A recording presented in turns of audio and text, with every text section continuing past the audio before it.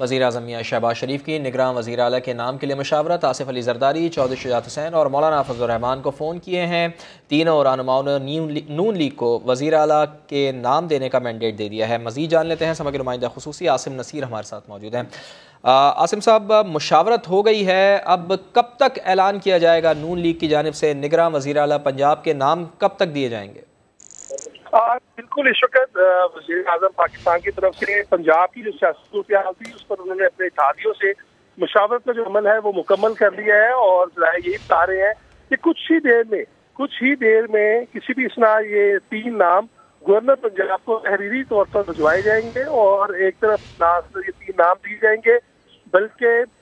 इन तीन नामों पर टेलीफोनिक कन्वर्सेशन पहले मलिक अहमद खान और वजी अला पंजाब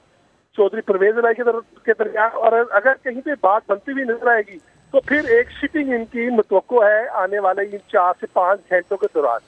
तो अब तो मुशामिल का अमल था, राय ये बता रहे हैं कि सबक वजी अजम नवाज़ शरीफ की जेर सदारत जो कि पार्टी के कायद है, एक अहम इनका इजलास चल रहा है, जो कि वीडियो लिंक के ज़रिए, जिसके अंदर वजी अजम शहबाज शरीफ, मरियम नवाज़, सुलेमान शहबाज इशाकदार और दीगर सरदार रियाज सादिक और दीगर अहम पार्टी के जो रहनमा है, वो शरीक हैं, जिसके अंदर इन तीन नामों पर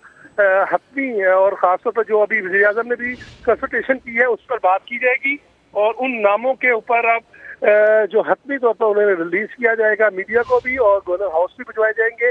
जिसके बाद फिर आने आने वाले जो दिन है, वो तयन करेंगे कि क्या ये मामला पार्लियामानी कमेटी में जाता है या चौधरी परवेज लाई के साथ अफामो तफीम से ही मुतफिका तौर पर एक शख्स का नाम बतौर निगरान वजी अला डिसाइड हो जाएगा। तो इन तमाम सारी सूरत हाल के अंदर इशू का जो मुशावरत थी इतिहादियों के साथ वो मुकम्मल हो चुकी है।